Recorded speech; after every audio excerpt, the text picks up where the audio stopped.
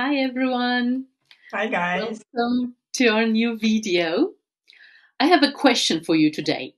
And before we get on with uh, today's episode, I want you to leave a little comment. Are you jealous of all the art supplies that Julia has?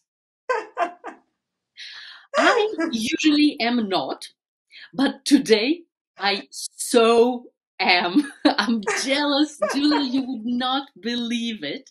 Really? While I was waiting for us to start recording, I went browsing and looking at the pen we're going to talk about today. And my cart is full. And Julia, you're going to owe me a lot of money. Because what we're talking about today, and you may see this elegant uh, black box and a very elegant uh, purple pen. yeah. We're talking about Ellington pens, fountain pens today. And as they describe them on their website, they're luxury pens at affordable prices. Um, Absolutely. and they're also so it is their passion and their mission to provide us with beautiful fountain pens and as they say on their website without eye-watering prices. And i don't know about the prices but the beauty of these pens is eye-watering. I mean Yeah. they are just gorgeous aren't they julia Yes, they are. They are. They're, uh, luxury is, is really the word we can use for them. They are so so beautifully made, and um, yeah, I would say let's talk about them and uh, let's try them out. Okay, well, obviously, fountain pens can be used for writing, journaling, but we're not interested in that. We're interested in using these pens for sketching. Yes. So, Ju- Julia, tell us what these pens can do. Yeah, a lot of sketchers uh, use actually uh, fountain pens for for sketching, and we've got uh, a few questions about uh, about these pens, and all of them were about inks. But I think it's also important to you uh, to tell other people who maybe um, don't know how to use, or if you you can uh, use um, uh, fountain pens for sketching at all. Um, to about these pens and um, and maybe um, inspire them to use uh, to use them. So um, the this fountain pen, and I'm really I I have another one pen, uh, fountain pen, and I don't really like it, but this one is uh, is really cool, uh, really great. So I probably will use it. Uh, for a lot of my sketches, but why is it so uh, so interesting to mm, to Come on, draw a line. a draw line, a okay. line. The line, the line. When we when we draw a line with uh, with a fountain pen, a very um, the thing with fountain pens and what make it different from uh, from uh, fine liners, for example, is that we can uh, use we can press on them, and the line will um, change So you can thickness. vary the thickness of the line. Yes, yes. So you can see that I start with a very thin line, and then uh, when I press harder, I can um, create a thicker line. Uh, also, it's it's really cool for hatching, for example. We can do hatching with it. Um, I'm not a big fan, but I know a lot of people are, especially beginners. Cross hatching is also possible. So, for example, something like this. Right. Is also a possibility. Um, but um, I think the most interesting part is uh, that you can combine different techniques. So you can do, uh, for example, uh, very thin lines. Um, we often talk about uh, textures, and um, you don't want uh, textures to be very thick. Or, uh, for example, if you draw um, an old cottage, you want textures to be quite thin, uh, so you can draw them uh, like this. And if you want to add shadows, you can do it like this. So I think that's So basically, with fine liners, you would need, well, let's say two different thicknesses for it. Maybe three. Or maybe Yes. three, right? So you use fine, medium, and uh, thicker fine liner. Yes. And you can do all that with just one fountain pen. Exactly. Exactly. You can replace uh, three fine liners with one fountain pen. This is um, uh, the benefit of, of this pen. Okay. Uh, so it is um, great for creating thin lines, thicker lines, for hatching, cross hatching, and for uh, for fine detailed work and for uh, for shadowing. All these different things. Uh, further, I want to actually uh, say something about the ink flow because it's uh, really cool. It depends on how you how you hold your pen because if you hold it in a wrong way, uh, like uh, this, for example, I don't know if you can see it uh, very well, but if you um, don't um, let your ink um, touch the uh, paper. I don't know how to explain it. if you if you um, draw with this um, with this side where there's no ink, then uh, your ink flow will be bad. But it's not about the quality of the pen; it's about how to hold it. Um, but if you draw like this, and especially on smooth paper, and we will talk about it more a little bit later, the ink flow is really really great. Or you can do it like this too, a thinner line.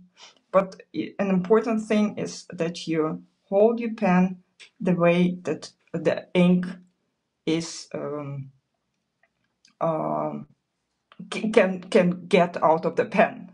So this is the Okay. most Well, important. this makes sense, right? yes, yes. And so, how difficult is it to draw a nice long line with this pen compared to a fine liner? I think actually that it's maybe even easier. Okay. Yeah, yeah, because it's it's very uh, the the movement is very smooth. hmm Um, yeah, and and fine liners. It depends on the fine liner. Some fine lines are a little bit uh, more difficult to use than the others. Uh, but this one, uh, this pen is is mm, I like it a lot. It's um, I can uh, draw very um, a line very rapidly or very slowly, and it All right. still Well, the trick works very well. to having nice long lines is practice, of course. Yeah, absolutely. Yes, yes. Right. And so, if you are out of practice, no pen can help you really. No, no, no. That's the secret. Okay. So, nice long lines, um, Yes, and the movement is smooth, right? yes, yes, Nice and easy and smooth. Okay. What else? What else do you feel, Julia? Um, I have to say something about the situation of the um of ink, uh, and um, this ink, uh, the ink that uh, is inside the um inside So the the ink pen. I that can't. comes with the pen. Yes, yes. Um, it's very um dark, uh, very um saturated, really nice um color, uh, black color Right. for coloring your sketches. Um, there is something with the ink, and we will talk about it a little bit later.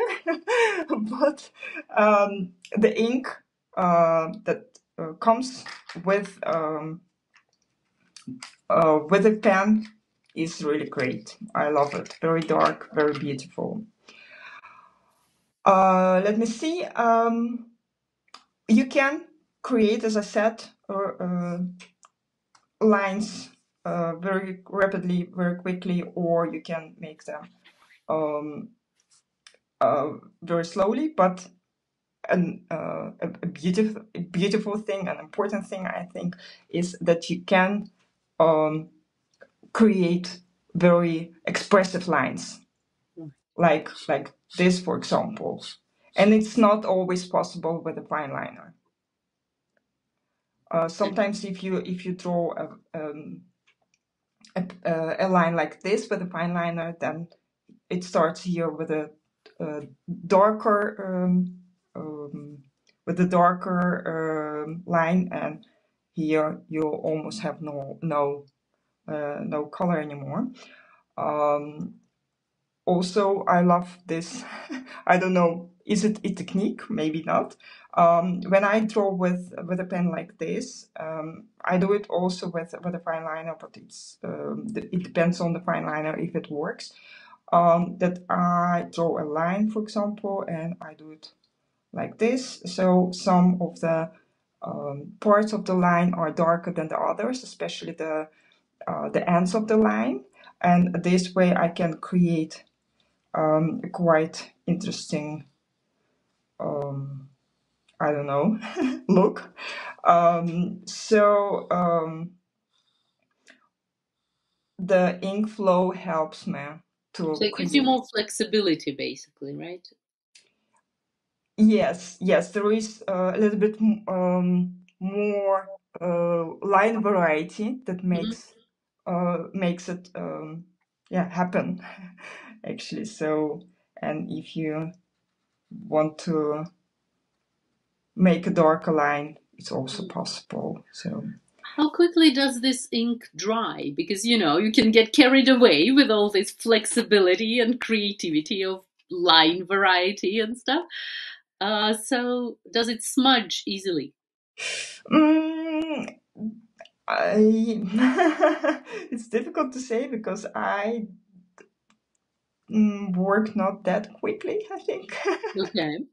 uh, so, and but a half you hours for a Oh standard no, no. workshop, I we mean, know. I mean, it's it's a minute maybe. It's a minute like like this. No, no. It, it but it also depends on the paper actually, because the smoother the paper, the longer the the dry uh, time.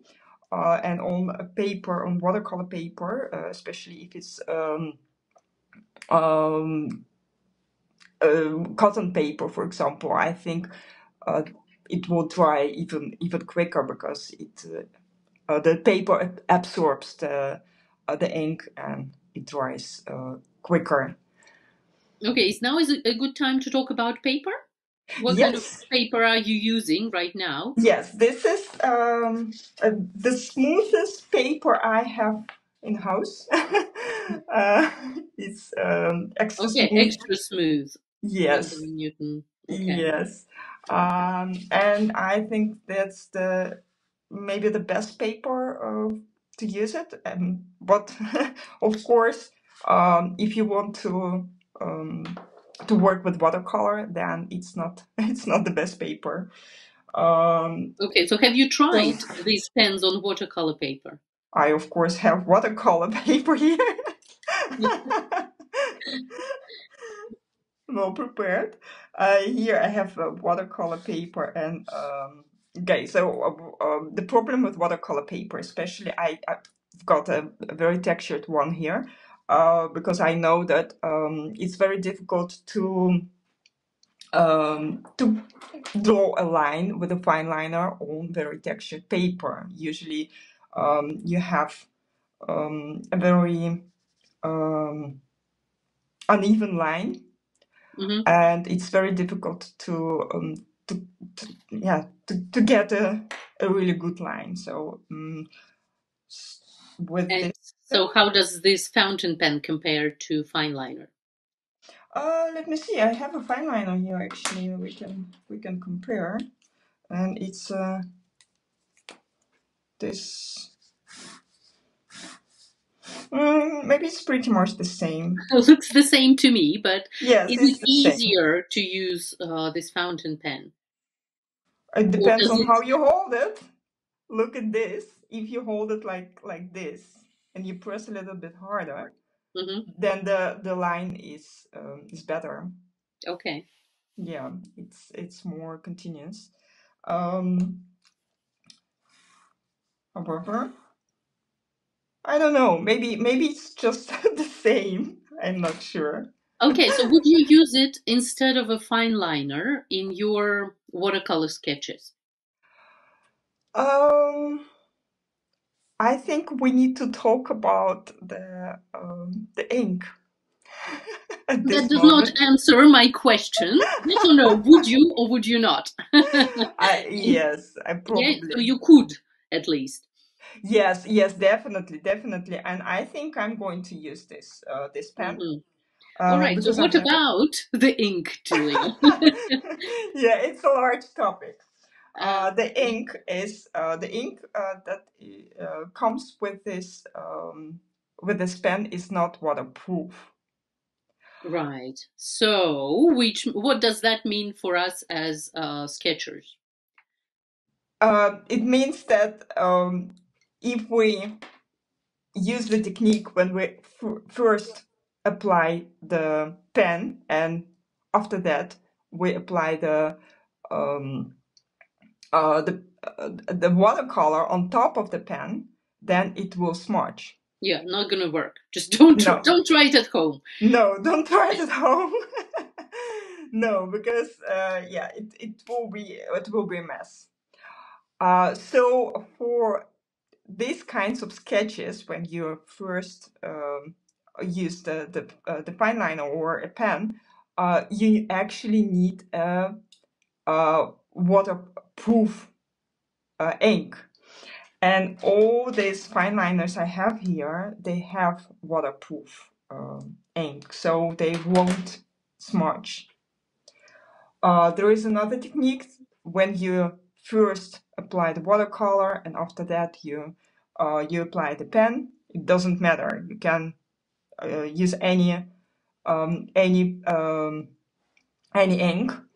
Um, okay, so um, let me see because there are there, there is a lot of um, to tell about ink. Uh, first of all, um, I have some ink cartridges, carbon ink. It's it's um, uh, platinum uh, carbon ink. Uh, it's waterproof ink, and you can um, you can put it in this pen, and you will just um, uh, um, you you you can you can uh, use it as a fine liner, so the the um, the ink will be waterproof. Uh, there are some questions about uh, this uh, this ink uh, because people uh, don't dare to to put it in the pen. Uh, some people say, um, "Yeah, I I just uh, don't want to uh, to ruin this pen. Is it safe uh, to um, to put this ink in the uh, in the pen?" I have here a pen. It's a it's a very old one. I think I have it like maybe um, uh, five years, and I've always uh, been uh, using this carbon ink, uh, platinum uh, carbon ink uh, in this um, pen, and it's still working. So I don't think you will ruin. It's not. It's it's not the best pen. Let's be honest, but it works. it still works. So um, no, you won't ruin it. I, I mean, I I'm And the can't. cartridges are all the same size. Like Um, they are they fit this pen. they this uh, the the cartridges they have here. Th- these are the cartridges I've got from Ellington, and these are the smaller cartridges. But you uh, can put. Oh, let me see, because I also want to know if it works. But there is another solution. if it doesn't. Um, okay, so there are uh, there are larger. It's quite difficult. Oh, maybe they they're. Oh, it's the wrong side. no, they are uh, a little bit too large, but um, this carbon ink uh, is in different. Um, Okay, it comes in different in di- yes, sizes. different sizes. Uh, but you also have them in um, um, Okay, now we're gonna watch Julia trying to put her pen back together. Precious the, Ellington the, the best idea to, to, to do it like that. live on YouTube. yeah. Okay, so um, I've got it. But well, the lesson here: don't be afraid to take it Don't apart. be afraid. There's Okay. only a few pieces that can easily be put back together. Yes. So um, this pen came with this uh, converter. Mm, okay. Yes, and this um, c- carbon ink, um, you have it also in um, in a form of uh, mm, in a bottle, so you can easily not only use colored ink for for your pen, which is actually also a very cool idea, right? I have here some inks, and you can use, for example, yellow ink or or red ink or whatever you want. You can put it in the converter, and it's ve- very easy to use, and you you can be sure that it uh, works with this pen because it comes with the pen. Um, so, oh, my hands. It could. We're gonna look at your face later, so don't touch your face. yeah, but the converters very easy to use. You only have to. Uh, Well, you personally, would you keep your Ellington pen as it is and then use the other pen for all the different colored inks? Or are you actually willing to? yes, definitely. I will use different colors, of okay. course. Especially in in. Uh, I, I'm sure I will. I, I will use it in October for.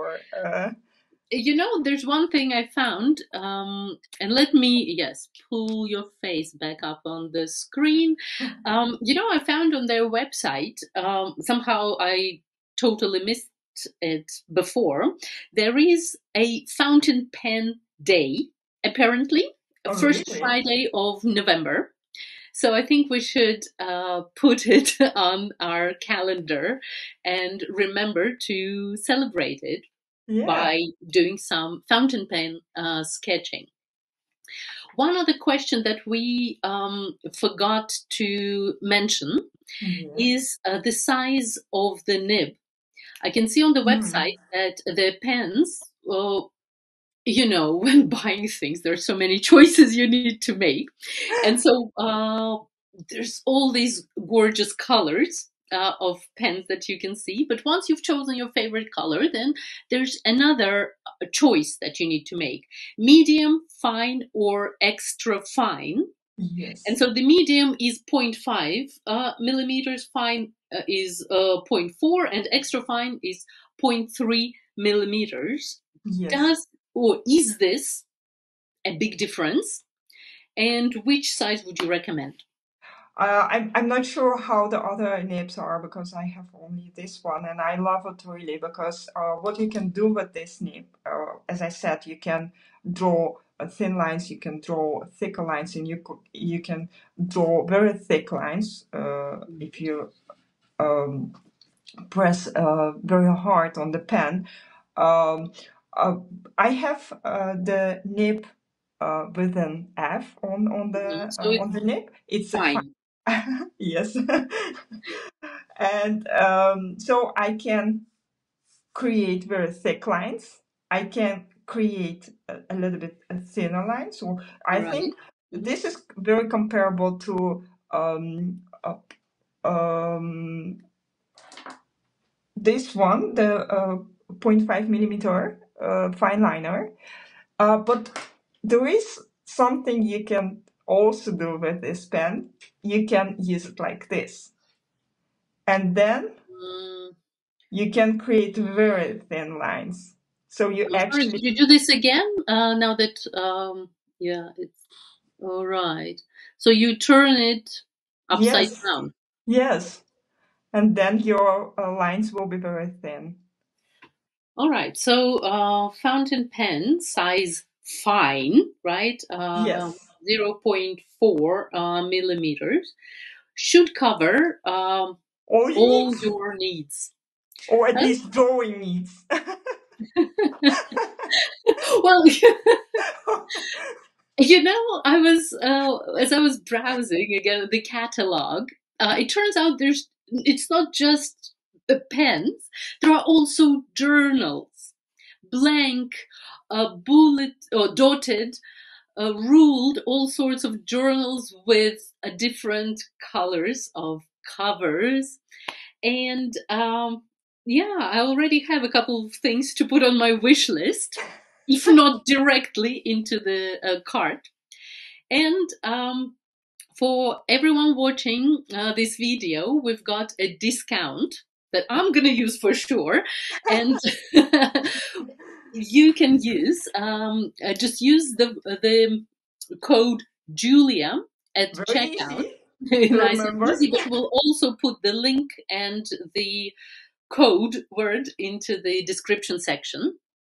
And uh, so use this code to get a discount and um, enjoy enjoy um, the fountain pens and other And sketching. well yes and sketching not just the pen the sketching all right and uh, when you post your amazing sketches done with ellington pens don't forget to tag us at brave brushes and julia underscore henze so we can see them admire them and uh, know that you're using fountain pens anything else julia i think I that pretty so. much covers it right Yes. Okay. Well, we'll see you again soon next week with another episode of our Show. show. Yeah. Let's call Right. it the show. Happy sketching. Happy sketching, guys. Bye.